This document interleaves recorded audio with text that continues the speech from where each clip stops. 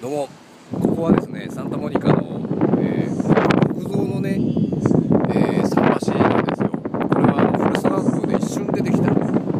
マラソンしてあ視界がつついちゃったっていうところのシーンの桟橋です。観光名所になっています。遊園地もねあるんですよ向こうに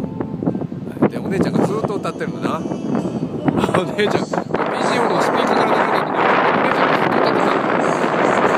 でポリスカーがあるんだけどポリスカーにもサーフボードが積んであるのね。あれはなんかこうウエストコーストって感じだよね。